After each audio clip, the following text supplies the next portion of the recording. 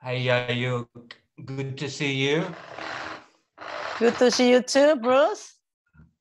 Hey, Yayuk, I have a few questions. I've I've been interested in asking you so many things. Um, I've interviewed you over the years, and I've enjoyed it so much, just because you know it was such a great honor for me to be able to sit down with somebody who had played on the circuit and been number 19, and also in the singles, but also in the doubles. So great. Uh, such a great record and to do so well and a Wimbledon quarterfinalist and all these different things that you achieved. Um, first of all, I want to ask you, um, what are you up to right now, Yayuk? Thank you, Bruce. Well, it's uh, it's an honor also for me. Actually, we know each other for a long time, for ages, right? And yeah. um, since since you're in England, so I I haven't seen you for for also for ages as well. Anyway, yeah, uh, at the moment because this is uh, during the pandemic i think it's it's hard for everybody. But uh, this kind of situation you you can't give up. Then you know you have to to do something as well to stay healthy to maintain your body your condition make sure you'll be able to fight against the covid. So mm. what i'm doing i'm still doing exercise as um, as usual but but not as much as like the way it was of course you know. Maybe I'm doing exercise like playing tennis uh, twice or three times a week. And then beside that, maybe uh, walking, also uh, sometimes also bicycling. And mm. then I have another actually uh, another things to do that might be very different kind, which is uh, you know I'm I love planting right now. So oh, really? so I you know yeah so you know I've I've been trying to to somehow I have like um, I don't know how many spaces right now, maybe a bit over hundred in my little in my little terrace actually. So yeah, well, it's interesting. That's keeping me busy as well. Isn't that funny? Because here in in England too, everybody has got into the whole thing of gardening and and you know taking care of the plants and yes big thing, yeah, because you've got to stay at home, right? So yes, exactly. All right. Hey, yeah, yeah, we need to keep us busy. It does. We need to keep busy, yeah. Yeah, hey, yeah.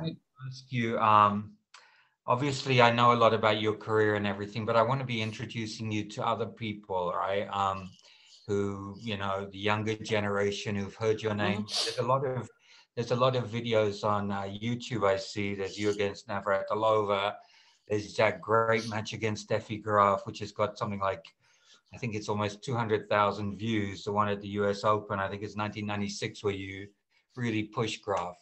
But yeah. tell me about, um, I've read your biography or autobiography in Indonesian, which I think one day should be in English because it was a very interesting story, particularly the beginning of the story and how you started out with tennis and your background. So tell me about um, how you got into tennis when you were a child in uh, in Yogyakarta.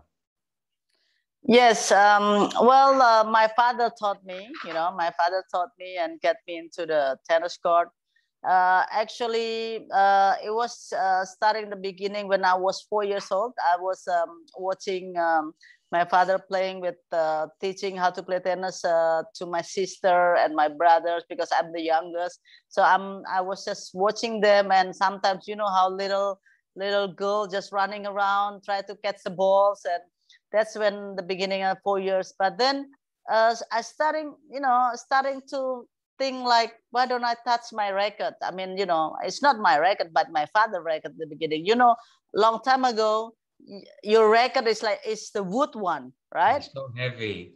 Yes, it is heavy. So I'm like, you know, trying to pull it. You know, the the record is. Uh, I, I mean, I think the record is even bigger than me. I guess. So yeah and then it's it's so heavy it was still the wood record wooden i i think i believe i was touching a dunlop record that time that's the beginning yeah Maxply. yes max, Maxply, play. exactly you remember then i started um, uh, to grab the record starting when i was i think uh, seven years old try to hit on the um, because uh, beside our house, there's there's a tennis court, mm-hmm. and try to hit in the wall. So, Mm. you know, like every day, I mean, my my father, you know, when he left to the office, I'm, you know, I'm still a little one. And then when I get back from the school, you know, maybe like during noon, try to hit the wall again. And and when my father get back and he, you know, he can he can hear Mm. those sound. It's like who is banging the wall, you know? It's Mm. like so he asked my mom, then mom, who is banging the wall? It's like, that's Yayuk, that's your daughter. What? So he tried to look and then and you know he started to to try to teach me and coaching me in the beginning, but it's because he doesn't have much time.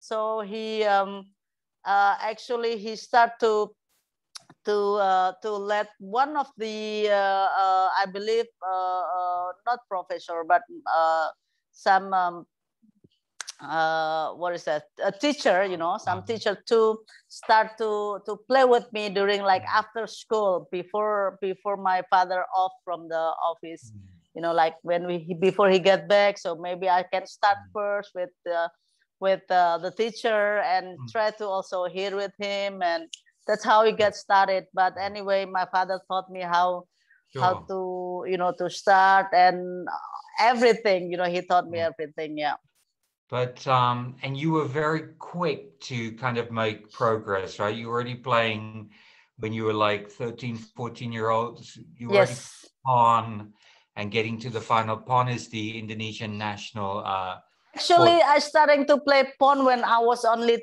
uh, 10 uh, going to 11 crazy. so i was very uh, yeah i was uh, not even 11 years old and then until you know you know how they actually when when we call it now maybe it's like bullying right? So you know people is like oh my god that um, Yogyakarta province doesn't have any other players or what? Why they send the kid you know? They send the kid to play. And and and you know that time there was no rule. Uh, right now they have rules like minimum is gotta be 14 but Mm. that that time has no rule yet. So so you know i was only 11 and i could play. And that's when when for me um, even the PON giving me a lot of experience. And then on that age as well uh, i already went to thailand to play to play the high school games for the asian high school games. Mm. so you know i it start me uh, you know it's starting to to get me like like offer i mean it's i didn't win yet but uh, maybe i started to win when starting 1983 84 yes you were right yeah like 13, 14, yeah. but it, Um, as a national yeah in the in the province i already win when i'm i'm starting 11 years old already Sure, great. So you had that natural talent, huh? You had that great natural talent. Yes, that's what um, my father told me, and then everyone else will also say it as well. Yeah. Mm. But your father was not one of these uh, stereotypical tennis parents like the Mary Pierce's dad or Capriati's dad or even Steffi Graf's dad who had to control everything. Yeah, he let you go to to the sports academy in Jakarta. And what was that experience like, Yayuk? Yes, um, you were right. My father already, like uh, like I told you, he taught me until you know when I uh, uh, uh, finished the um, the not kindergarten but junior high school. Mm. Already starting in Jakarta. He let me go because he think that I can improve a lot when I'm in Jakarta. So he let me go to the, um, the better coaches, which is uh, Mrs. Mien Gondowidjojo, that she was the national coach. And um, and he let me, uh, he trust her. So he let me Mm. go to Jakarta and and staying over and live in uh, in Ragunan for uh, six years, you know, Mm. during the the high school period. Mm. So I think that's when you know during during that time in the sports center. Well, you know how the the life about the not only as as a kid, but you know as a as a young kids or you know Mm. young young people, and and for me it's very good that I keep the commitment first of Mm. all, and second of all, I knew that why I'm away from my parents, so I have the responsibility Mm. So the third one that uh, you know why I'm here that I have that I want to be the champion. That's mm-hmm. the three things that I always keep you know in the in I put in my mindset. Yeah.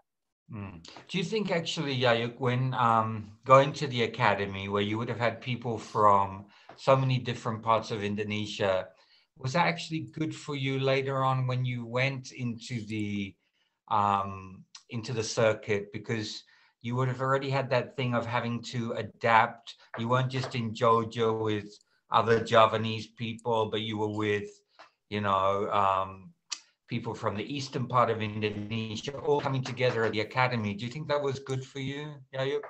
Yeah, I think, you know, you know, I think it's very good and, you know, keeping us all together and we have to work and, you know, you're not only oh, okay i'm from jogja you know mm. i have this uh, javanese culture so mm. you have to share also with the culture from either maybe kalimantan borneo and and all around the, uh, the country actually but mm. which you know i think it's really keeping us you know as like um i don't know we feel like you're one you know you're mm. all in the one nation and mm. and and everything you have to work things out together so mm-hmm. you're sharing everything so uh, we feel like i don't know uh, the friendship is very good and and and we're like you know you're not talking about different religion it mm-hmm. doesn't matter what kind of religion you are but you're you're indonesian so this mm-hmm. this thing that is really good well maybe maybe if you seen this time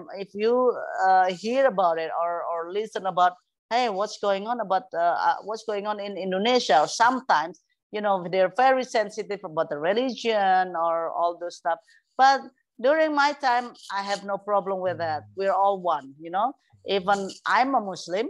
My friend, my, my friend are, are most of them are Christian or Catholic, you know, or they are mostly Chinese. I have no problem with that. You know, that's we're you know we feel like we're one. Mm, that was that was when I went to Indonesia the first time in 1985 as a high school exchange student in Pad in Padang, right, with my yes. Muslim family, my Muslim host family. That's what I felt, right?